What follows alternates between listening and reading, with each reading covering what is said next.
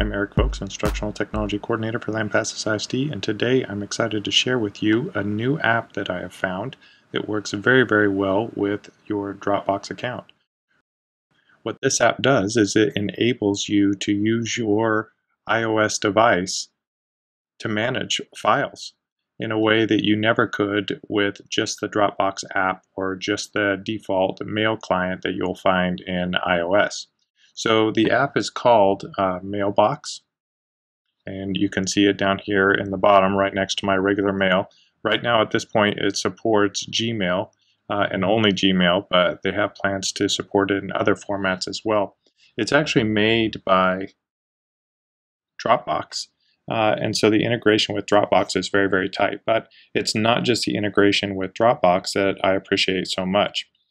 The the app works with gestures like lots of other mail clients do, uh, but this one's particularly clean and efficient. And I just want to give you a brief overview of how it works.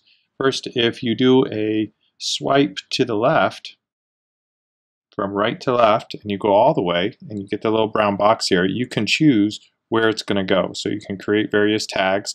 In this case, I'm going to put that in my receipts. And if you swipe from left to right, then it gives you the ability to skip the archiving, which is right here, and go straight to the trash. And if you swipe from right to left like this, you can see when it's in yellow, that means that it's going to be snoozed. I don't know how many times we leave our inbox uh, full of all the emails that we're planning on getting to at some point. But there are lots of people out there that will tell you you're going to be a whole lot more efficient at work uh, if you can manage your emails and work towards inbox zero. Well, for the first time ever, I was able to achieve inbox zero using this app. So if I swipe over from right to left until I get the snooze option and I let go, it asks me how long I want to snooze it for. So you can see I've got lots of different options, including uh, the ability to customize. Someday I can say that someday is supposed to be a month from now or two months from now, whatever the case may be. I can even pick an individual date and time that I want the email to go back to my inbox so that it's brought to my attention. So let's say it's Friday afternoon and you know that you need to get on that Monday morning, but you don't want to leave it in your inbox. You can always say next week and it's going to show up at the beginning of the next week. Same thing with tomorrow, it'll show up uh, at a preset time for tomorrow, typically 8 or 9 o'clock in the morning. But it's really nice and really efficient, so I'm going to say I want this one to show up tomorrow. So uh, it's very, very quick to take multiple emails and do any of the above actions with them. So let's say these two emails I want to delete. So if I use two fingers, I can swipe multiple emails at the same time and delete them at the same time. So this email I just want to add to my Explore Informational Technology at a later time. So I let go and it gives me all of the tags that I've created. So um, here's another nice one from Scoop.it. I'm just going to move that into my Explore IT. And this deal of the day, uh, I'm just going to archive this. Maybe I'll get to it another time, but I don't want to go straight to the trash, so I'll just swipe it until it's green from left to right. And this one, I'm going to skip the archive and go straight to the trash. So every time you achieve inbox zero, it gives you a neat little icon so that you know you are all caught up. You have the ability to see what you have archived uh, at the very top left here, I can see, um, not, excuse me, not what I've archived, but what I have snoozed. So you can see what's been snoozed for and when it was snoozed for. If I wanted to take any of these emails and change them, uh, it's very easy to click on the little icon and click on the yellow section up at the top, uh, deferred until a particular time. I'm going to click on that little icon and I can pick a particular date and time that I want this to show up. So it's really nice to be able to control when it's going to come back to your inbox. So I can also see anything that I have archived. These are things that are going to be trashed after a certain amount of time. Usually it's 30 days or so, but for right now they're just archived. And then of course here's my regular box. If I want to manage any of my tags, I can do that in the top left hand corner. You can see the three blue lines there. This is where you can see I've got my Gmail, my work Gmail connected. I can see what's in my later, and then I can see any of the lists that I've created. I can go to my archive, trash, sent, all these file folder um, labels as well. And then in the settings, this is where we would actually set things up. So you can see I've got two email accounts. I wanted to add another account, I would do that right there. I can even set uh, a default email account that I want things to be sent from, and I can customize the signatures for each one of those if I wanted to change it. So I can set my sync preferences, how often I want it to sync, and I can set preferences for, uh, I can manage my lists right here if I need to. It's real easy to move them around. And I can even uh, go to my snooze preferences and say I want my weekends to start at this time, my workday to end at this particular time, uh, my week to start and end, and I can tell it later today, someday. I can customize a lot of the snooze settings right in there. And even tell it, uh, even customize my notifications and things like that. Uh, and then down at the bottom, you can see there is my Dropbox account. So what's really nice is uh, if you link your Dropbox account, first you're going to get one gig of extra space in your Dropbox account because they make the app and they want it to be integrated with Dropbox. But also, if I go back to my mailbox here, and I'm going to uh, compose, and you see how I did that in the top right hand corner. I want to compose a message to somebody. It's going to search my contacts.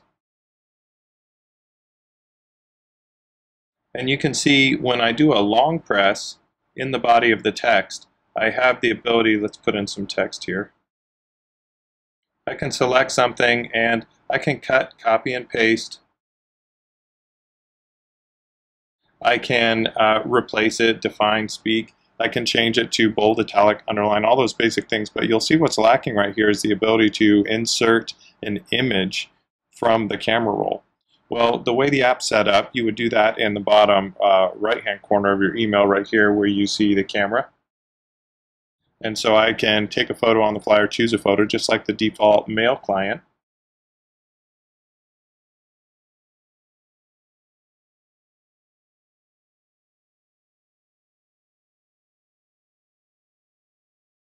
And so it will insert it straight into the text of the email. But here's where it gets really nice. I also have a paperclip right here. And this paperclip gives me the ability to attach anything from my Dropbox account. So let's say I want to attach an image I put in Dropbox. The image is going to show up. If I want to attach a Word document, the Word document is going to show up. Or if I want to attach a link to an MP3, so anything you've got in your Dropbox, you can attach links to straight to your email. Now, how is this different from the Dropbox app itself? Well, in Dropbox, you can go to a particular file and you can email that file, a link to that file to a particular user using the default mail client. But you can't pull in links to multiple files quite as easily as you can with the Mailbox app. Here I've got links to Word documents, images, MP3s, all kinds of different things. So it gives me the ability really to manage my files on an iOS device like I never could before. And so when I send it off, it's going to come back to this same uh, to the to my mailbox app since I've sent it to my Gmail account and my Gmail account is in my mailbox account. So if I just drag down, well, it looks like it refreshed automatically. So here's how that shows up and hits my, my inbox. So it's downloading everything and uh, it pulls in the images full screen so you can actually preview them right there. And then the Word document MP3, they didn't download automatically, at least the MP3. So really neat app. And of course, when I've actually gone into it, I'm given all the options up at the top here. If I want to delete it, archive it, snooze it, or add it to a particular list. If I click the back to mailbox uh, button up here, it's going to take me back here, and then I would use the swipe to do whatever I want with this. Okay, so in this case, let's say we just want to snooze it until later today. And when it comes back into your email back into your mailbox account after you've snoozed it, it's going to be starred to indicate that you've already snoozed this at some point, so it's important uh, and needs to be paid attention to. So how do you integrate this directly with your Gmail account? Well, there's only one trick. When you first download Mailbox and it goes through the initial setup and you put in your Gmail credentials, what you'll notice if you have any problems is that it needs to be synced to your IMAP account. It's going to say, we've got to have access to your IMAP account. So if I go into my Gmail account, and then I go to my little settings, and I go to settings, and I go to labels, it will make it will want you to make sure that you've got show in IMAP indicated on your trash, your all mail, and your sent. And that's because when it integrates with your Gmail account, what it does is create a subfolder. You can see over here on the left. It creates a subfolder with any of the tags that you've added. So these are the lists that I have created. So I can add emails to these various lists. And because it integrates, you know, with Gmail in terms of archiving and trashing email and stuff like that, it's got to have access to those things. So that was the only tricky thing I found is making sure that all these were, were uh, marked as show in IMAP.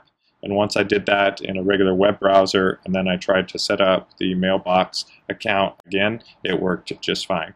So looks like I've got a tweet that's been favorited, so I can very easily just take that straight to the trash. All right, I'm Eric Folks, Instructional Technology Coordinator for Lampasas ISD. It's been a pleasure showing you Mailbox, and I hope it makes your life more productive and more mobile. Thanks so much for your time.